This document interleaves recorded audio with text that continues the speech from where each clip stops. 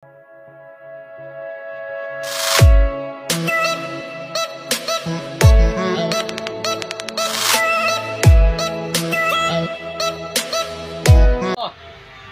morning everyone!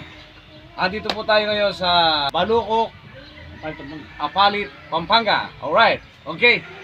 Uh, welcome back to my YouTube channel and welcome back to my vlog. Okay, okay. At the same time, meron naman po tayong ah, gagawing isang split type non-inverter aircon. Okay, carrier. Ang problema nito ay ah, ayaw lumamig na naman nagkaroon po siya ng leak, no? So, bibilisan ko lang po, mga mga guys, ang ating ah, video, no? Nagkaroon po siya ng leak dito, ayan, hinilangan po namin, ayan. Yung kapilya rin niya, ito po, ayan, sumayot po siya dito, ayan. So, ayun, no, nahinangan ko na po siya ngayon, no?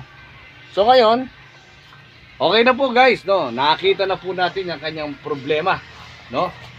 Ang gagawin na lang po natin ngayon, dahil nahinangan ko na, ay, ah, iba-vacuum na lang po natin ng ah, improvised vacuum. Yan. Tag 14,000 po yan.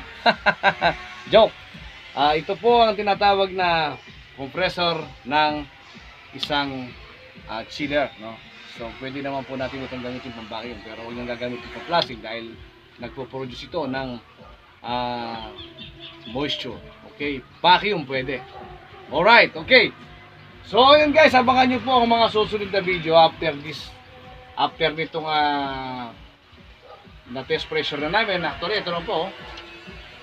Pineressurean po namin siya ng ah 150 PSI. So siguro kanina pa to, siguro may ah, meron na siyang 10 minutes.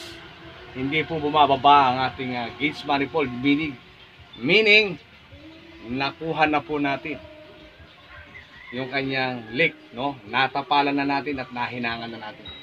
Okay. Ayun. At ah Hintay pa po tayo ng 10 minutes. Ha? Abangan niyo po mga susunod na video. Ito po pala yung aking kaibigan na si ah, shoutout sa iyo, my friend. Sulit Express. Ah, si Joey, Lowy, Lowy, Lowy. ah si Lowy Sulit. Sulit from Alantipay, Apal Pampanga. Kapalit, Pampanga. Siya po ang nagrekomenda sa amin dito. Alright, okay. A few minutes later. Oh. Sana, oh. Kakabit na natin, no? Kailangan na make sure na maganda pagkakaton nila para hindi kumakawag ha, para hindi sila nagbabibrate. Okay. A few moments later. Oh, guys. Andito na po tayo sa final, no? So, ayun. Ah, ibabakium na po natin ngayon yung kanyang ah, tubo, no? Dahil nag-pressure tayo, nilagyan natin ng pressure yung mga tubo. So, hindi na pa, kahit na ito ay ipawalan natin, nandun pa rin sa loob ang pressure, no?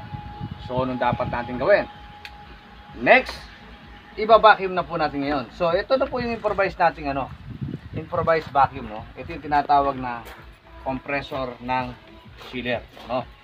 Ito yung improvised vacuum natin. So, yung gitna ng Kung mapapansin niyo po, guys, no? Dahil ah, papalit-palit na lang po kami ng hose, no? Gauge. Ah, yung mga hose ng gauge manifold namin, the same color na lang, no? Dahil kabisado na po namin. Sa mga bago lang na nagsisipag-aral, no? Kailangan puli na talaga ng iba't ibang kulay. Blue, red, and Yellow. yellow. Ang yellow ay laging nasa gitna. Yung blue ay laging nasa dito sa ah, blue gauge. Ay ah, low side. At dito naman tayo sa high side yung red Red. hose. So dahil hindi na po namin sinusunod yun, ang mahalaga, pare-parehas lang po sila ng hose. Kapag po yan eh, ka nga eh, kabisado nyo na, hindi na po kailangan yung color coding. Okay. O, so ayun, no?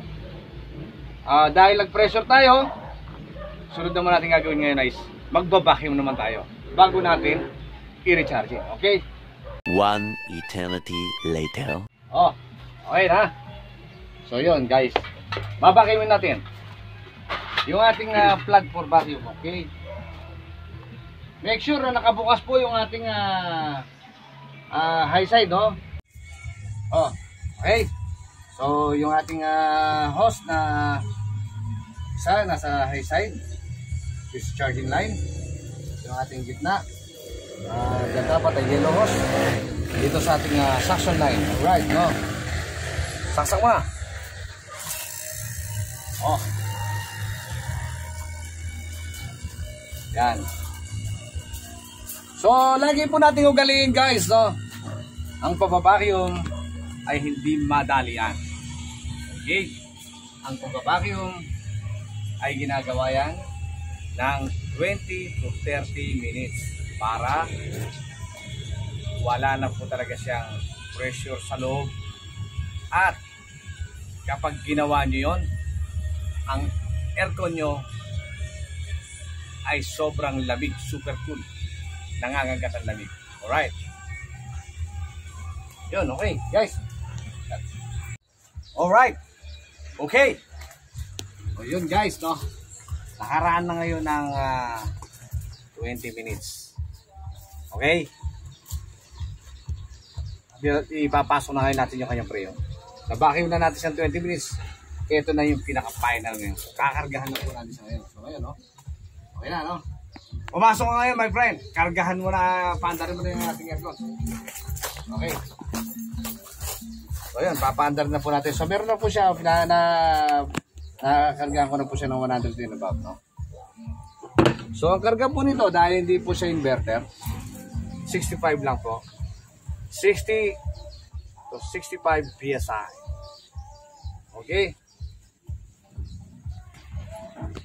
Po siya, yun. Bumaba na gauge natin. Magkakarga na tayo, no? Ayun, ginakarga na po natin, no? Okay?